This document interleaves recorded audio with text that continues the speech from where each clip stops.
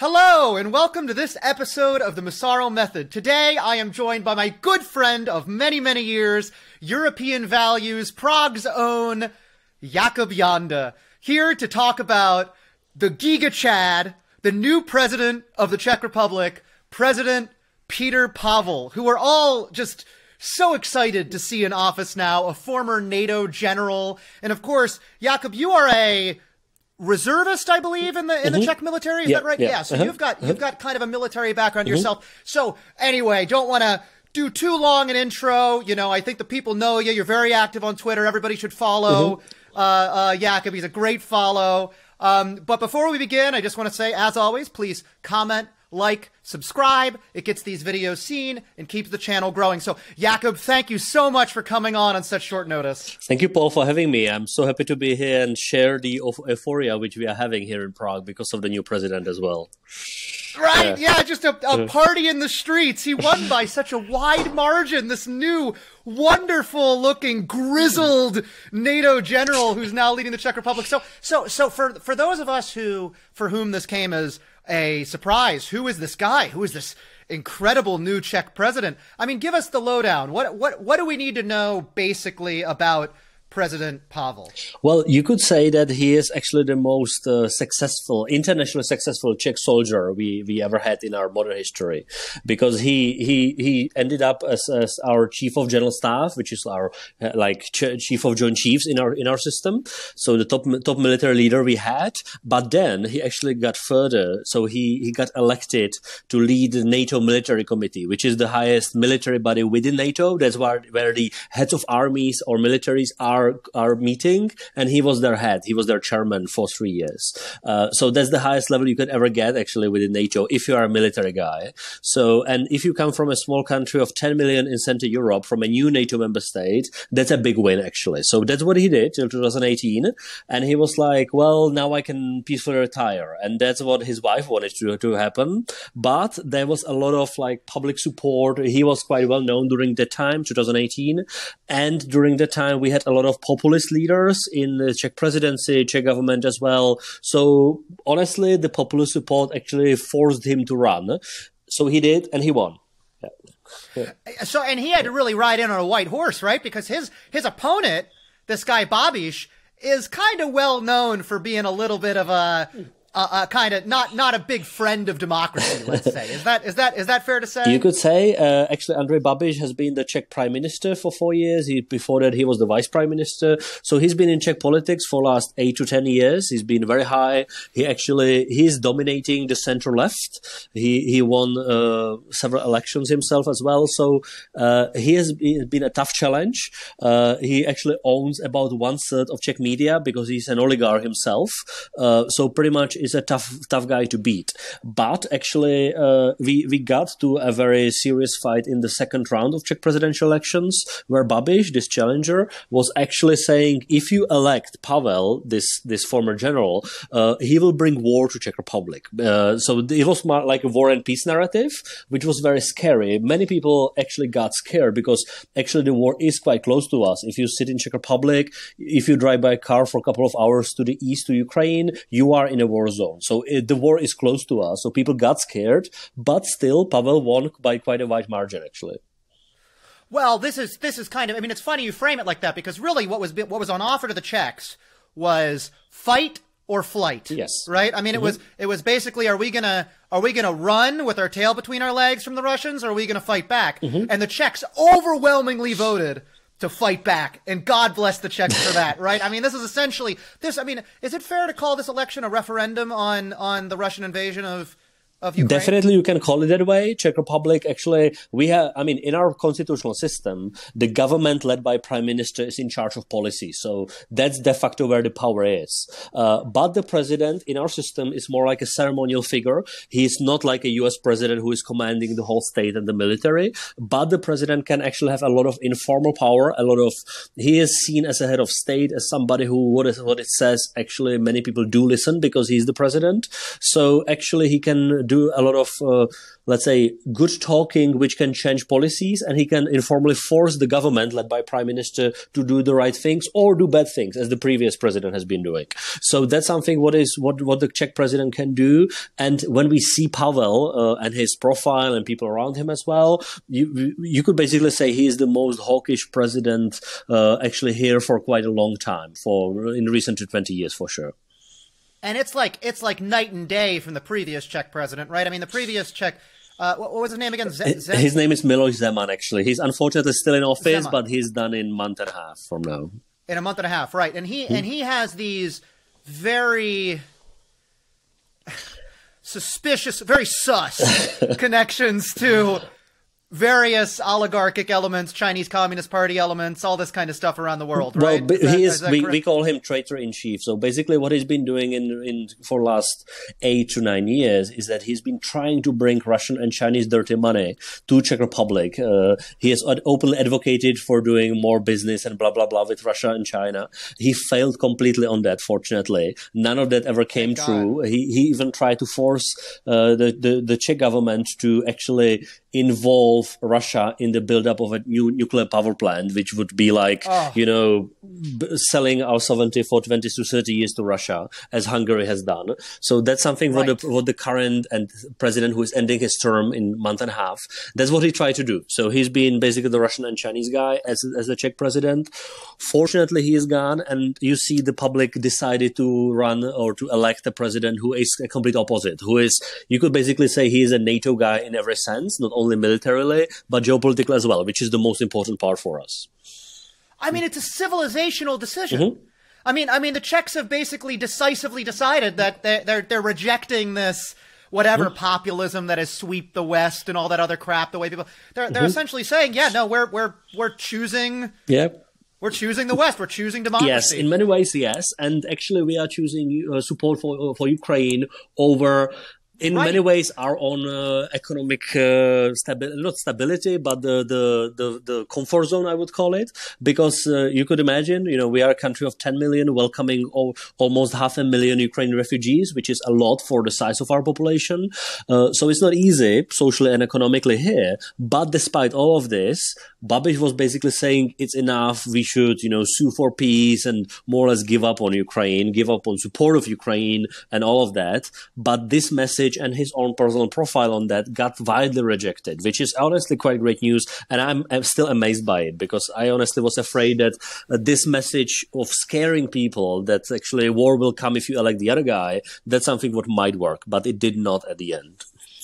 And, what, and just what a fantastic thing that it didn't. Mm. I mean, it's just, yeah. and it, it, it's such a, it's such a credit to the Czech people mm-hmm. that, that when the, when, when everything was on the line, they said, no, we're gonna, we're going to fight. Yeah. So that's that's really exciting. Mm-hmm. Now, now, in contrast with your previous president, who's going to be out of office soon, um, among the first calls made by by President Pavel have been to President Zelensky mm-hmm. and to the president of Taiwan. Yes. Mm-hmm. Is that right? So how did how did I mean I mean that there couldn't be a a greater contrast. I mean, he's he's not even in office yet. he's already hurt the feelings of the Chinese Communist Party. So so so yeah. so tell us how this has happened. And and, mm-hmm. and Jakub, I mean, for mm-hmm. those that don't know, mm-hmm. you are you opened the first European think tank office think in Taiwan. True. In Taiwan, mm-hmm. Mm-hmm. is that right? Yep. So you you are you are on the cutting edge mm-hmm. of let's say European relations with Taiwan and kind of and kind of helping to reject this now three failed decades of economic integration with the People's Republic of China. Mm-hmm that has led to so much destruction. I mean, is that is that fair to say? That yeah, that... I think that's correct. Uh, so what President-elect Pavel did is that after being elected on on Saturday, he got the congratul- congratulation messages by basically everybody in the world, which is which is normal practice. But he decided to actually make four phone calls with other presidents in the first two days, and it was the Slovak president, the Polish president. That's our neighbors. Yeah. That's our best friends. That's obvious. But then President of Ukraine Zelensky telling him I'm I'm coming because the one of the first trips President Pavel will do will be to Kiev. Uh, so that's all that's publicly announced. And then the most surprising one to people who don't know him that much is actually the call to President of Taiwan, because actually that's something what Europeans heads of states, even the only elected ones, the ones who are not in office yet, they don't do it. Uh, we ne- there was never a phone call between Taiwanese president and anybody of this kind in Europe, which is good. So it sets a new norm. This is doable, and we are doing exactly. it. Uh, so that's important part. But it's not only this phone call; it actually goes in the in line with what the current Czech government is doing for uh, last year and will be doing this year as well, which is openly supporting Taiwan and publicly saying in its even like policy documents which are public, Czech government is saying we plan to engage Taiwan economically and politically as well, which is a new thing. Everybody in Europe is pretty much scared of the Chinese response, but actually it's Lithuania and now Czech Republic too, two, two smaller or mid-sized countries saying we will be engaging Taiwan because what's needed is to build this democratic alliance or alliance of like-minded democracies who will be supporting Taiwan. Some will do it with military means like the US and hopefully Japan. Some will do it mainly with political and economic means like Czech Republic and Lithuania because we are quite far and relatively small. But that's something what actually brings it to the table. So for example, in the end of March, the, the speaker of the Czech parliament is going to Taiwan as well uh, to actually publicly support tai- Taiwanese democracy too, which is not an easy thing to do because it's easy if you are a single parliamentarian, but but you need a majority in the chamber to actually have the speaker go in everywhere in Europe, and we have these majorities in both chambers of our parliament. So our our speaker is going too. So it's not only our president elect saying it, which is the biggest, most visible thing, but there are even government officials doing similar things there as well. So I'm quite happy about it. Yeah, it's base Czechia, man. the Czechs, the Czech, the Czechs are coming out swinging. I mean, yeah. it's it's so exciting to see. Do you do you at all? I guess you know in in in the in the capital, mm-hmm. there are a few busts of great freedom fighters. Mm-hmm. There's Winston Churchill, of mm-hmm. course, but there's also Václav yes. Havel, right? And I mean, we've we've we've we greatly admire President mm-hmm. Havel. And now we have President Pavel. Mm-hmm. And I mean, do you do you do you do you see this as something of maybe a Czech tradition? Is this is there is there a Czech intellectual leadership that that that President Pavel is now a inheritor of? I mean, I mean, should we see this as in line with the great, the the incredible inspiration that Havel was? Yes, in many ways he is. Uh, and the interesting part here is that his own personal story is that because in the 80s, he is, he is a son of a, of a family which was deeply communist. They were deeply supporting the Communist Party. And he even grew up, he was a member of the Communist Party here as well. But when the revolution came in 89, he actually uh, was one of the builders of the new democratic Czech military. He got, he got all the engagement with the US military. He, he was one of the military leaders who within new Czech military within NATO. So he he is kind of a story of the like a, I would call it like a new elite of the country. He's only 61, so he's relatively young for a president uh, for in the first term, which gives us hope for maybe a second term, which is what we could do. Is our terms are five years, so it could be nice 10 years if it goes well, fine.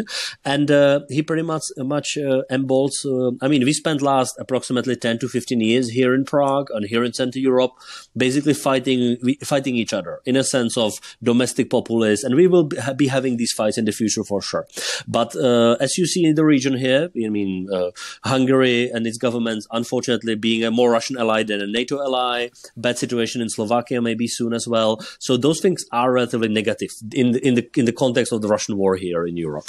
Uh, but actually now we have, um, I mean, the president. I wouldn't overestimate it, but he can actually support the government, and he could be basically doing these international things, which country of 10 million usually don't do. But if you have strong leaders of these ones you could actually punch much above your weight, which is exactly what we are doing on Taiwan. Because if you are sitting in Asia, you're like, well, there's a country of 10 million somewhere in Europe which is doing something on Taiwan. That's weird.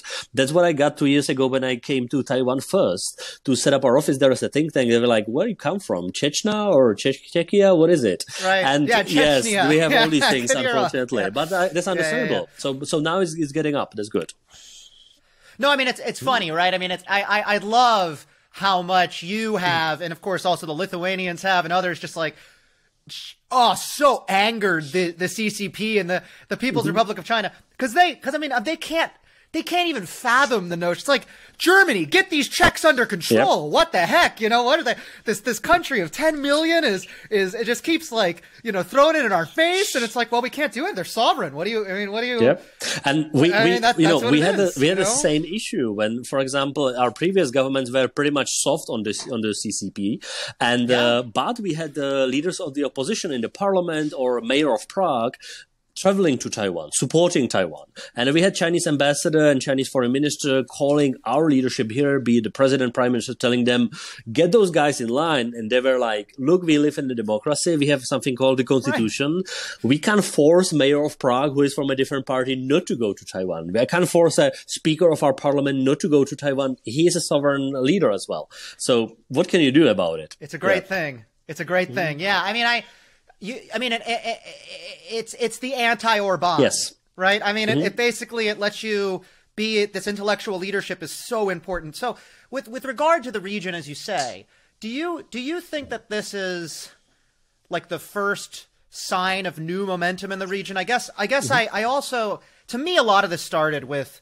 the Russian mm-hmm. invasion, mm-hmm. right? And kind of what what what um Mora Morawiecki mm-hmm called the the Polish prime minister the, mm-hmm. the, the the Hungary Poland split. Yes. You know, I mean, I think that I think that for a long time there was this worry that or the Orbanism, this kind of like authoritarian mm-hmm. populist turn, was going to get basically protected by Poland, but that stopped. I mean, it's it's basically decisively mm-hmm. stopped. Mm-hmm. And now this, I mean, do you do you think do you think that kind of Orban's authoritarian vision for the EU is now on the back. I mean, for the EU, it is. He cannot spread out, out of Central Europe, but he does spread to Western Balkans, where Orban and his uh, oligarchs and advisors are spreading this basically poisonous disease uh, with political and yeah. intelligence influence of Hungary, Hungarian state, which is yeah. pretty bad. Serbia in particular, in Serbia, right? but they are pushing in Macedonia yeah. as well, in Bosnia. It's pretty hostile for the, what the Hungarian state does over there.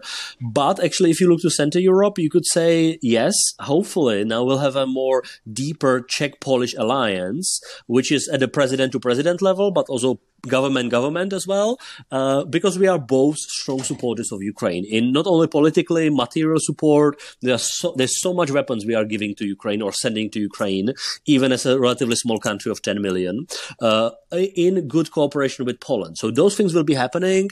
The fears we have is that in the fall there'll be Slovak parliamentary elections, which might end up pretty badly. So Orban might get his best friend, uh, Viktor, or, uh, sorry, uh, Robert Fico, former prime minister of Slovakia, going back to power in Slovakia, and that would oh, mean God. Orban would have Slovakia as his best ally, uh, which would be bad. But the, uh, in the in Prague, you know, we'll have this president for at least five years who actually hates Orban. He says it publicly with different words. Great. He even yeah. said publicly that when when Pavel was thinking about whether to run or not, he said, "Look, I'm seeing what Orban is doing in Hungary. I don't want Czech. I do not want Czech Republic to become Hungary under Orban in a way of you know uh, his domestic opponents running the same way. So I'm running. Orban is one of the reasons I'm running for a president. So and and for example." Something what is, has been not so uh, publicly visible during the campaign here is that in December, which is like a month before the election, so really hot part of the campaign, candidate Petr Pavel actually went to Budapest, to Hungary, and he met the NGOs, the civil society leaders, the independent media. He talked with them about what Orban does to them, and he was like openly on display in the center of Budapest over there uh, during the hot part of the campaign. So you you see how public, how personally important it is to him, and now he is our president, which I'm very happy about because he has spine he has balls on that. Yeah, I mean that's yeah. huge. That's mm-hmm. huge, and I mean it's mm-hmm. amazing. Mm-hmm. It's amazing what you can do even without kind of like really serious formal political power, just from like the perch of president. Mm-hmm. When you're willing to go see President Zelensky, when you're willing to go to mm-hmm. Budapest, when you're willing to go to Taiwan, and so on and so forth, and and kind of be that symbol of of freedom, that that sort of the Czech Republic represents. Again, going back to the image of President Havel, mm-hmm. who, who, also very much was that for the world. Um, so I'm, I'm very hopeful that, that he'll he'll follow in that legacy. So to to sum, Jakub, what are the what are the top priorities of this of the of the Pavel administration? Mm-hmm as you understand it? For him, uh, it is, I mean, outside of domestic stuff, for on the inter- international stage, it's first on Ukraine because that's the biggest war we have in our neighborhood. Yeah. So it's really about supporting Ukraine politically, material wise as well. He's saying he wants Ukraine na- in NATO in the future. And he knows what it means because Great. he's the guy who who represents NATO in every in a political and military sense. So he knows what it means. So so Ukraine first, that's the, the, top priority. But second, really will be in some cases uh, support of Taiwan because he understands how Taiwan is important as a democracy, but also as a as a defender against the the CCP uh, aggression in, in, the region as well. Um, and uh, that's something what is uh, what is quite unique. You don't have European presidents openly supporting Taiwan at all. Sometimes you have governments like the one in Lithuania or the one in Prague now. But our our role here as, as Czechs is some, some, somewhere to, let's say, hopefully inspire, but basically to show to others in, in Europe, mainly Germany, that it is possible to engage with Taiwan. It's possible to support Taiwan and China will not destroy you for that, which is the biggest fear of much of the German political and business elite. Uh, and that's why European China policy is so weak and corrupted because we are like, well, we will do nothing and maybe China will be nice. But that's not the case. We see it's not happening. It's, we see this fail, this policy is failing. So the only hope we have as a smaller country is to really support Taiwan with everything we have and hope that other bigger European countries will say, well, maybe it does make sense. And yes, not only morally, but strategically as well, because we do not want to end up in a, in a prison of, uh, of, of Chinese economic blackmail, which is exactly what China is already doing. It's an excellent point. It's so important to, to, to demonstrate that. And I think y'all, and then of course Lithuania mm-hmm. has been yes. um, uh, an important uh, test case of of just actually at the end of the day how few tools China has to enforce its will. I mean, there, there's kind of this this fear. It's it's much it's much like we overestimated mm-hmm. Russia. Yes, right. I mean, we we wildly mm-hmm. overestimated the power of Russia, and now now the second largest military in the world is being defeated by you know this this great ragtag Ukrainian group of freedom fighters. Mm-hmm. You know, and and and it's it's the same with China. At the end of the day, China's all talk. Yeah. When they actually when they actually try to enforce things, turns out we are holding so many more cards yeah. than we think. So so I, and I think I think you know President Pavel couldn't have been this Czech leadership couldn't come at a better time mm-hmm. because it is a time where I was in Brussels a few months ago where you get the feeling uh, among sort of the, the Eurocrat elite even that it's like the time has come to get serious on Russia and China. Yep. I mean, I couldn't believe it. It was like it was mm-hmm. like a night and day from just a few years ago. So mm-hmm. I think I think Berlin will be the last ones to come yep. around, but even they, I think, will come. I around. hope so. And our but job I, but, as as like mid-sized countries and democracies and their allies, our job is to show them the mirror, which we are on Russia, on Ukraine, and we will be on China and Taiwan. Because honestly, Europe can talk about how much we support democracies, how much how much we do not want the change of the international liberal order, but we need to do something about it. We need to defend it, and defending for now is easy and cheap because China is not killing people yet. I mean, it is in, inside China with the genocide, but outside of China, they are not openly waging um, a hot war, a kinetic war, which they are preparing for. So we need to, we can deter them now. Otherwise, we fail in deterrence like we did on Ukraine, and we will see tens of thousands of dying because we failed and we were cowards before that, which which is our European problem long term. So I think that's the that's the reason why we need so much of political support for Taiwan now. Absolutely, and I mean it's a it's a it's a global problem, right? I mean, I I, I guess I, you know, I, have said before, I'll say again, I'll say I'll say until I'm blue in the face. We, because the Ukrainians turned out to be this incredibly brave, yeah. you know, people, despite the fact that we ate all the Russian disinformation about them and everything, you know, um, we avo- we dodged yes. bullet. If Ukraine had fallen, we, we that could have been the incursion into NATO after that. That could mm-hmm. have been the the the massive make or break moment for global security, possible World War III, all that kind of stuff. I mean, the Ukrainians prevented yes. a much larger scale, much more dangerous mm-hmm. scenario mm-hmm. by fighting like they did. Now, Taiwan, we I mean, we've got to deter that one. Mm-hmm. We've got to yep. deter it.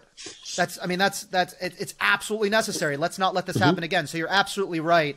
Um, we should we should take this lesson and get serious. And you know what? I think we are I think that's what President Pavel, I think that's why everybody's so excited about what the Czechs have decided, because that's what they're seeing here is that we're learning our lessons. Yes, yes. And I Finally. mean, it's, it's amazing. It- Exactly. finally! I mean, it took a lot of death.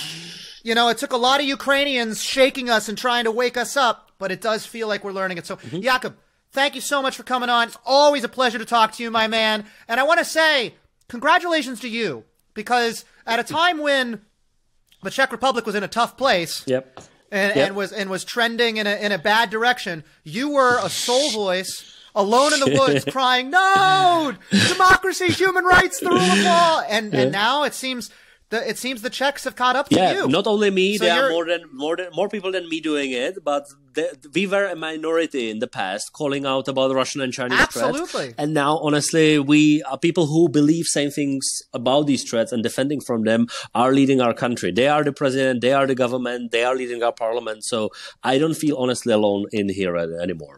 Yeah. Absolutely, but but it's but it's because of your intellectual leadership. It's because you created a space within kind of the the the Czech intellectual paradigm for for for doing this that it ultimately grew, grew, grew, grew, grew, and now it's now it's running the country, which is which is fantastic. So congratulations. Thank you. yeah. Thanks again for coming on thanks so much Paul. Thank you. talk soon. Bye congratulations.